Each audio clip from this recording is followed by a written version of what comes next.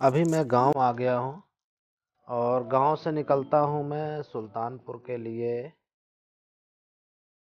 ये है गोविंद साहब का मेला, जहाँ पे मेला लगता है। एक महीने करीब चलता, अभी एक डेढ़ महीना हुआ, ख़त्म हुए। कितना पानी भरा हुआ है, आप देख सकते हैं। पानी का निकास नहीं है तो खूब कीचड़ और मिट्टी और पानी जमा हो गया है, क्योंकि अमूमन लोग दुकानें अपनी ऊँचे बना लेते हैं और सड़कें नीची हो जाती हैं। सरकार का कोई प्रोविज़न नहीं होता है कि साइड में दोनों साइड नाली बन जाए जिससे पानी का निकास सही तरीके से बरसात में हो पाए। तो कल शाम को खूब बारिश हुई है जगह जगह पानी भर गया है, जमा हो गया है और इस समय बहुत डर रहता है कि बाइक स्किड कर जाए, फिसल जाए और अभी मैं ये आ गया, ज़बरदस्त हाईवे वाह! क्या मज़ा आ रहा सीधे बाइक की स्पीड 110 120 वाट लवली रोड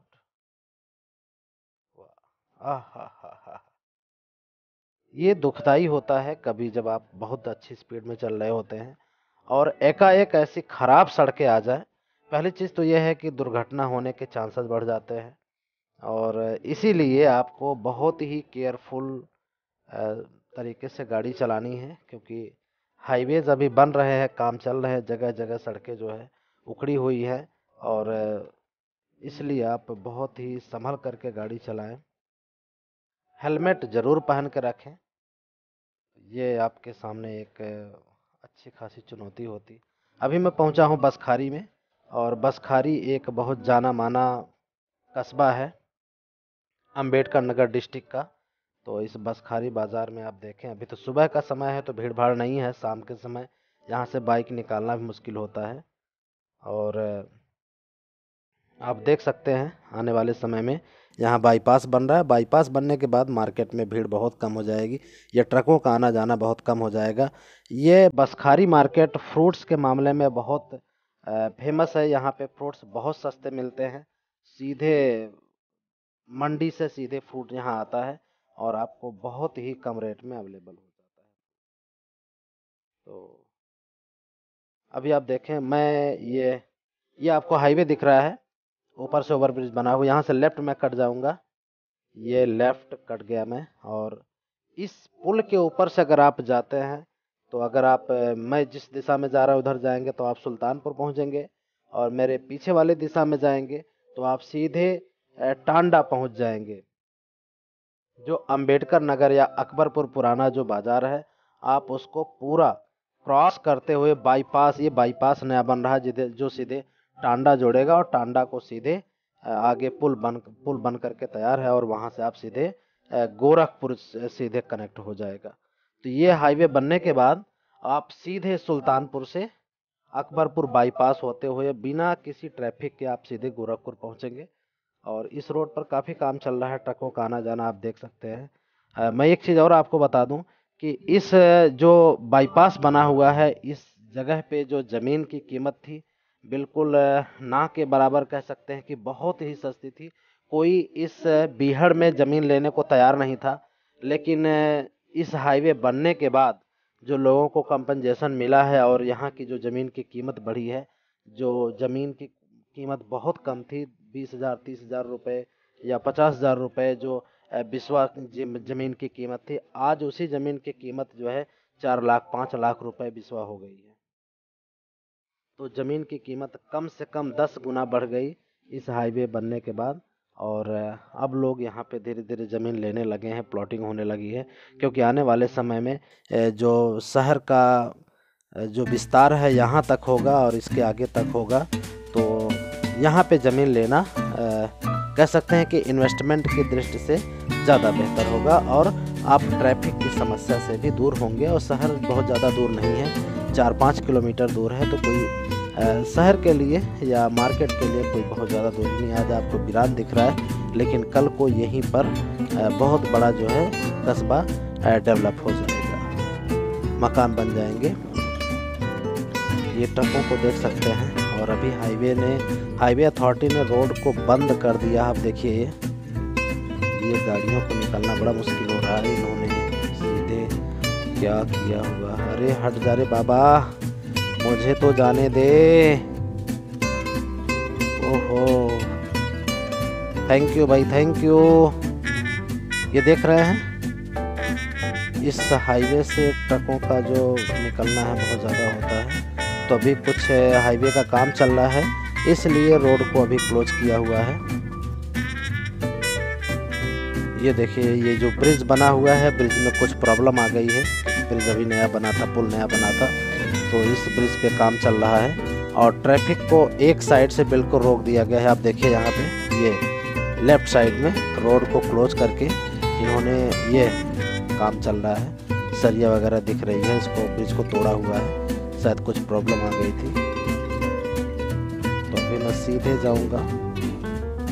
ये जेसीबी ने शायद रास्ता बंद किया था, फिर थोड़ा सा खोला हुआ है, जिससे ट्रैफ़िक बाधित ना हो और कम से कम छोटी गाड़ी और बाइक वाले आराम से निकल सकें। ये रोड बनने के बाद इसमें आप देखिए, ना तो कोई साइकिल वाला है और ना बहुत ज़्यादा गाड़ियों का ट्रैफ़िक है, इसलिए लोग बहुत ही स्पीड में चलते हैं। इस हाईवे पे आने के बाद, ये सुल्तानपुर अकबरपुर का हाईवे है, इसमें आने के बाद सीधे अपने आप जो है एक्सीटर लोगों का,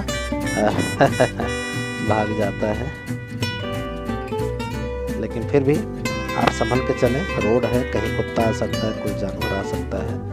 अगल बगल आपकी चारों तरफ़ निगाह रहनी चाहिए, और आप उतनी स्पीड में हो जिसमें आपकी कंट्रोल हो जाए। ये है, ट्रेन आ गई है।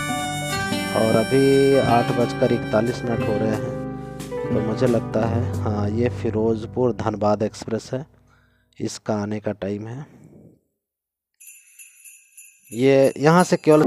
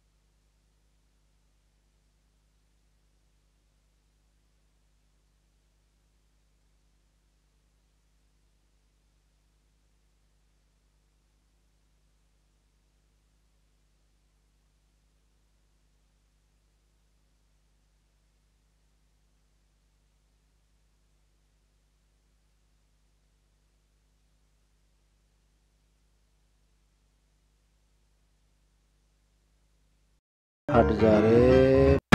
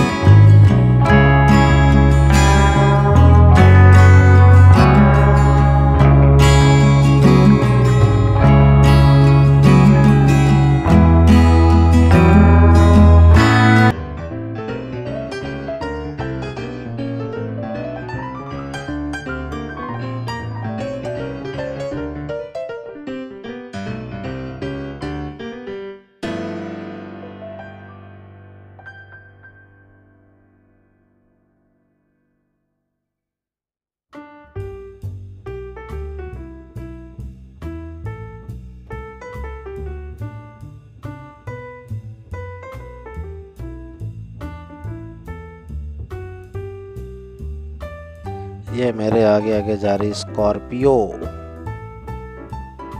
आप जानते हैं स्कॉर्पियो में जो इंजन का पावर है, बहुत ही ज़बरदस्त है। और दो हज़ार सी से लेकर के इसके इंजन का पावर करीब अट्ठाईस, सत्ताईस सौ, अट्ठाईस सौ सी का इंजन होता है। अभी मैं इसको ओवरटेक कर रहा हूँ।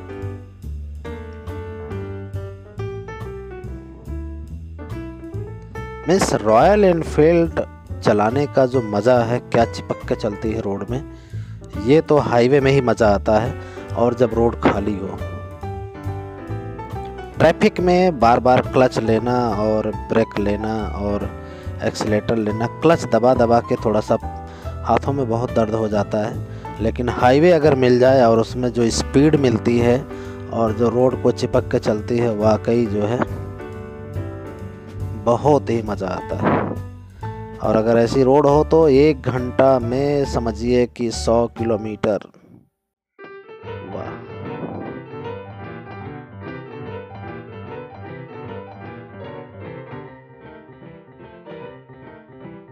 अभी मैं महरुआ बाज़ार को क्रॉस कर चुका हूँ सुल्तानपुर रोड में। तो ऐसे ही पूरा रोड आपको मिलेगा। कहीं भी रोड ख़राब नहीं है, जहाँ ख़राब थी उसका मरम्मत कार्य कर दिया गया है। गड्ढे वगैरह बिल्कुल भी कहीं आपको नहीं मिलेंगे। और आने वाले समय में रोड कंप्लीट होने के बाद आपको इसमें टोल टैक्स भी पड़ने वाला है। अगर आप कार से जा रहे हैं तो आपको टोल टैक्स देना होगा। बाइक का टोल टैक्स इस रोड पे तो नहीं लगेगा, लेकिन अगर आप एक्सप्रेस वे पे जाते हैं तो बाइक का भी टोल टैक्स आपको देना होगा। तो अभी जो new expressway Lucknow to Ballia बन रहा है, उसके बनने के बाद सीधे हम लखनऊ से सीधे अपने घर की ओर पहुँचेंगे और दो घंटे में लखनऊ से घर पहुँच जाएँगे। एक्सप्रेस वे में।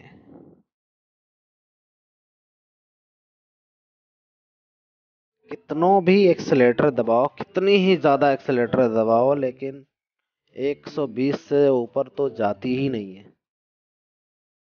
मैंने पूरा ट्राई कर लिया, accelerator full gear, full accelerator, लेकिन 120 रॉयल इनफील्ड क्लासिक 350 ये मैक्सिमम स्पीड है, इससे ज़्यादा आप इसको नहीं भगा सकते। वाइब्रेशन 100 के ऊपर बहुत ज़्यादा होता है। गाड़ी का वेट की वजह से रोड पे बहुत अच्छी, चलने में 100 तक 100 तक 90 100 में बहुत अच्छी है। और 80 तक अगर आप चलाते हैं तो आपकी गाड़ी पूरी आपके हाथों में कंट्रोल में रहेगी।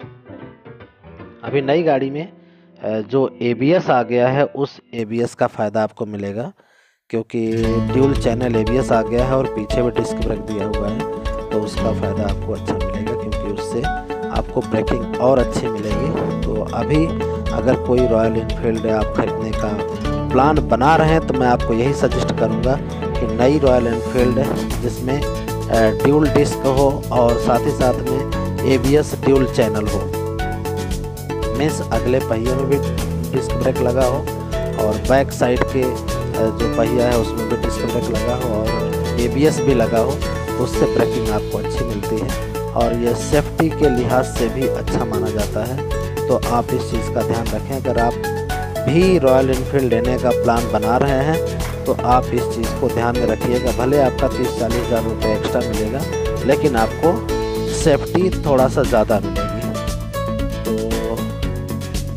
अब धीरे धीरे मैं वीडियो को बंद करता हूँ। मेमोरी भी ख़त्म होने वाली है। अगर आपको मेरा वीडियो अच्छा लगता है तो लाइक करें, और नहीं अच्छा लगता है तो डिसलाइक करें।